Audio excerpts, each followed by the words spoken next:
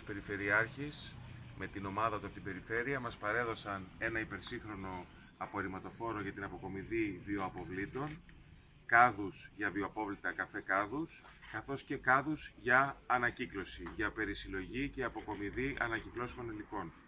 Θέλω να του πω ένα πάρα πολύ μεγάλο ευχαριστώ για αυτή την στήριξη, την έμπρακτη, σοβαρή στήριξη και ένα μεγάλο ευχαριστώ για όλη τη συνεργασία που έχουμε. Το στοίχημά μας είναι να κάνουμε και το Δήμο Αλήμου και όλη την περιφέρεια Αττικής την κοινωνία μας πρότυπης στη διαχείριση του απορρίμματος. Γι' αυτό και ζητάμε από όλους τους συμπολίτες μας να στηρίξουν τον καφεκάδο, να συμμετέχουν καθημερινά στην ε, συλλογή και αποκομιδή βιοαποβλήτων, δίνοντας ένα έμπρακτο παράδειγμα στη νέα γενιά και διασφαλίζοντας το περιβάλλον και τη βιωσιμότητά του για τη νέα γενιά.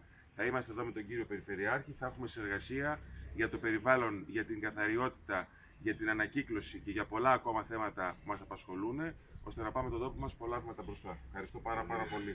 Ευχαριστώ Περιφερειάρχη.